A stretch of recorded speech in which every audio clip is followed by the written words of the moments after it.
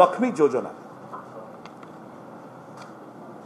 ଭାରତବର୍ଷର ଏକମାତ୍ର ଯୋଜନା ଯାହାକି ଗାଁକୁ ଗାଁ ସଂଯୋଗୀକରଣ କରିବାରେ ଗାଁକୁ ବ୍ଲକ ସହିତ ସଂଯୋଗୀକରଣ କରିବାରେ ଏବଂ ବ୍ଲକକୁ ଜିଲ୍ଲା ସହିତ ସଂଯୋଗୀକରଣ କରିବାରେ ଯଦି ଭାରତବର୍ଷରେ ସବୁଠାରୁ ଭଲ ଯୋଜନା କେଉଁଟା ତାହେଲେ ଆଜି ଲକ୍ଷ୍ମୀ ଯୋଜନା ଭାବରେ ସେଇଟା ପରିଲକ୍ଷିତ ହେଉଛି।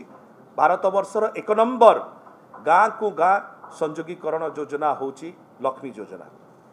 ଏଥିରେ ଶହେ ପ୍ରତିଶତ ଜିଲ୍ଲା ଓଡ଼ିଶାର ଆଜି କଭର ହେଉଛନ୍ତି ଏବଂ ଏହା ସହିତ ଲକ୍ଷ୍ମୀ ଯୋଜନାରେ ଷୋହଳଶହରୁ ଅଧିକ ବସ୍ ଆଜି ନିୟୋଜିତ ଅଛନ୍ତି ଏବଂ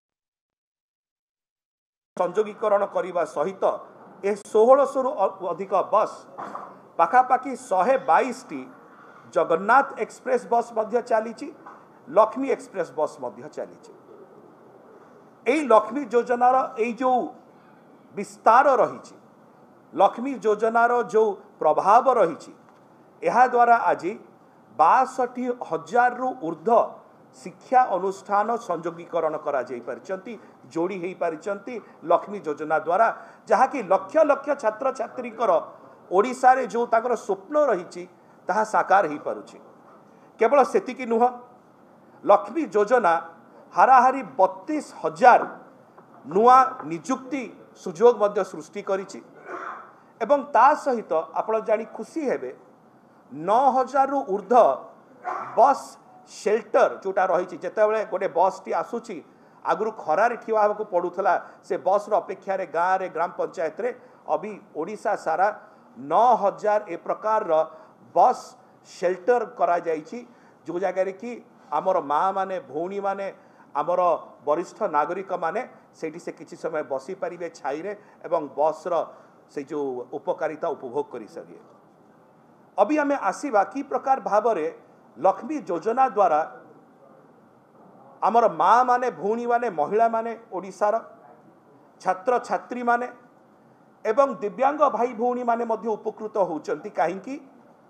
ନା ଗୋଟେ ଫିକ୍ସ ରେଟ୍ ଗୋଟେ ନମିନାଲ ଆମାଉଣ୍ଟ କେବଳ ପାଞ୍ଚ ଟଙ୍କା ଗୋଟିଏ ଟିକେଟ୍ର କଷ୍ଟ ରଖାଯାଇଛି ସେମାନଙ୍କ ପାଇଁ। ମାଆମାନଙ୍କ ପାଇଁ ଭଉଣୀମାନଙ୍କ ପାଇଁ ମହିଳାମାନଙ୍କ ପାଇଁ ଆମର ଛାତ୍ରଛାତ୍ରୀମାନଙ୍କ ପାଇଁ ଦିବ୍ୟାଙ୍ଗ ଭାଇ ଭଉଣୀମାନଙ୍କ ପାଇଁ କି ଆପଣ କେବଳ ପାଞ୍ଚ ଟଙ୍କାରେ ଆପଣ ଯାତାୟାତ କରିପାରିବେ ଲକ୍ଷ୍ମୀ ବସ୍ରେ ଏବଂ କେବଳ ସେତିକି ନୁହଁ ଭାଇ ଭଉଣୀମାନେ ଜଗନ୍ନାଥ ଏକ୍ସପ୍ରେସ୍ ଏବଂ ଲକ୍ଷ୍ମୀ ଏକ୍ସପ୍ରେସ୍ ବସ୍ ମାନଙ୍କରେ ଆମର ଭଉଣୀମାନଙ୍କ ପାଇଁ ଏବଂ ଅନ୍ୟାନ୍ୟ ବର୍ଗ ପାଇଁ ପଚାଶ ପ୍ରତିଶତର ମଧ୍ୟ ରିହାତି ଆହୁରି ଆଡିସନାଲ ଦେଇଛନ୍ତି ମାନ୍ୟବର ମୁଖ୍ୟମନ୍ତ୍ରୀ। ଏଇଟା ହେଉଛି ଉପକାରିତା ଲକ୍ଷ୍ମୀ ବସ୍ର ଯେଉଁଥିରେ କି ଆଜି ଗାଁରୁ ଗ୍ରାମ ପଞ୍ଚାୟତରୁ ବ୍ଲକ ବ୍ଲକରୁ ଜିଲ୍ଲା ଜିଲ୍ଲାରୁ ସବ୍ ଡିଭିଜନ ପର୍ଯ୍ୟନ୍ତ ସଂଯୋଗୀକରଣ ହେଇଛି। ଏସବୁ ବହୁତ ଭଲ ଜିନିଷ ଚାଲିଛି। ବହୁତ ସୁଲଭ ମୂଲ୍ୟରେ ସବୁ କାର୍ଯ୍ୟକ୍ରମ କରାଯାଉଛି। ଓଡ଼ିଶାର ଏ କାର୍ଯ୍ୟକୁ ଭାରତ ବର୍ଷରେ ପ୍ରଶଂସିତ ହେଉଛି ଏବଂ ଯଦି ଆପଣ ଯାଉଥିବେ ଗାଁମାନଙ୍କୁ ନିଜର ସେଇଠି ମଧ୍ୟ ଆପଣ ଦେଖୁଥିବେ କି ସମସ୍ତେ ଲକ୍ଷ୍ମୀ ବସ୍ ଯୋଜନାକୁ ବହୁତ ଭଲ ପାଉଛନ୍ତି। କିନ୍ତୁ ଯେତେବେଳେ ଆମେ ସମ୍ବଲପୁର ଢେଙ୍କାନାଳ ଏବଂ ଅନୁଗୁଳ ଜିଲ୍ଲାକୁ ଆସୁଛୁ ଦେଖିବାକୁ ମିଳୁଛି ଏଇ ଯେଉଁ ଲକ୍ଷ୍ମୀ ବସ୍ ଯୋଜନାର ଯେଉଁ ଉପକାରିତା ଟିକେ ପାଣିଚିଆ ହେଇଯାଉଛି କାହିଁକି? ଏନ୍ଏଚ୍ ଫିଫ୍ଟି ଫାଇଭ୍ ଯୋଗୁଁ। ଯେଉଁ ରାଷ୍ଟ୍ରୀୟ ରାଜମାର୍ଗ ନ୍ୟାସନାଲ ହାଇୱେ ଫିଫ୍ଟି ଫାଇଭ୍ ଅଛି ଯେଉଁଟା ସମ୍ବଲପୁର ଅନୁଗୁଳ ଢେଙ୍କାନାଳ ଏଇ ଯେଉଁ ସେକ୍ଟରରେ ଯାଉଛି ତାର ଏତେ ଦୁରବସ୍ଥା ଅଛି କି ଲକ୍ଷ୍ମୀ ବସ୍ ଫାଇନେଷ୍ଟ ବସ୍ ଆପଣମାନେ ସମସ୍ତେ ଦେଖିଥିବେ। ଏତେ ସୁନ୍ଦର ଏସି ବସ୍ ଚାଲିକି ଗଲାବେଳେ ଯେଉଁ ଧକଡ଼ ଛକଡ଼ ଖାଲ ଢିପ ଭିତରେ ଦେଇ ଯାଉଛି ସେ ବସ୍ର ତ ଅବସ୍ଥା ଯାହା ରହୁଛି ତା ଭିତରେ ବସିଥିବା ଆମର ମା ଭଉଣୀ ମହିଳାମାନେ ଆମର ଦିବ୍ୟାଙ୍ଗ ଭାଇ ଭଉଣୀମାନେ ଆମର ବରିଷ୍ଠ ନାଗରିକମାନେ ବାପା ଦାଦା ମା ମାନେ ସେମାନଙ୍କର ଅଣ୍ଟା ପିଟି କଷ୍ଟ ହେଉଛି। ସେମାନେ କମ୍ପ୍ଲେନ୍ କରୁଛନ୍ତି ଆଜ୍ଞା ଗାଡ଼ି ତ ବହୁତ ଭଲ ଅଛି।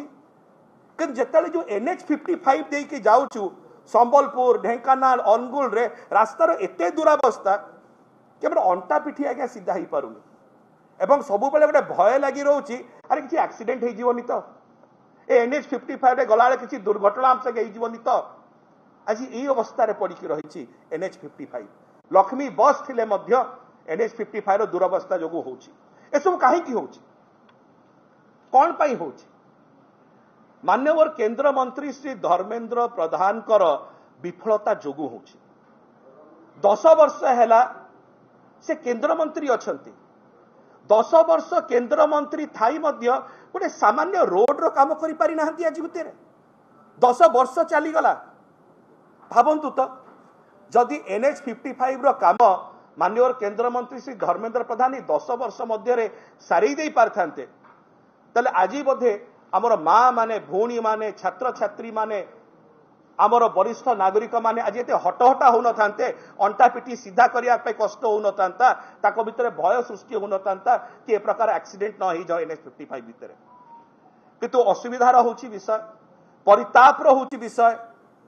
ଯେ ମାନ୍ୟବର କେନ୍ଦ୍ରମନ୍ତ୍ରୀ ଶ୍ରୀ ଧର୍ମେନ୍ଦ୍ର ପ୍ରଧାନଙ୍କର ଯୋଉ ଉଦାସୀନତା ରହିଛି ଯୋଉ ଉପେକ୍ଷା ରହିଛି ଆରେ ଏନ୍ଏଚ୍ ଫିଫ୍ଟି ଫାଇଭରେ ଯାହା ହଉଛି ହଉ ମୋର କିଛି ଯାଏ ଆସେ ନାହିଁ। ଏଇ ଯୋଉ ଗୋଟେ ମନୋଭାବ ରହୁଛି ଏଇ ଯୋଉ ଉଦାସୀନତା ରହୁଛି ଏଥିପାଇଁ ଆଜି ଆମର ମା ମାନେ ଆମର ଛାତ୍ରଛାତ୍ରୀମାନେ ଆମେ ବରିଷ୍ଠ ନାଗରିକମାନେ ସେମାନେ ହଟହଟା ହଉଛନ୍ତି। ଲକ୍ଷ୍ମୀ ବସ୍ ଯଦିଓ ସୁଫଳ ପହଞ୍ଚଉଛି ଇଏ ଏନ୍ଏଚ୍ ଫିଫ୍ଟି ଫାଇଭର ଦୁରାବସ୍ଥା ସେ ସୁଫଳଟା ତାକୁ ହଣ୍ଡ୍ରେଡ ପରସେଣ୍ଟ କରିବାକୁ ଦଉନାହିଁ।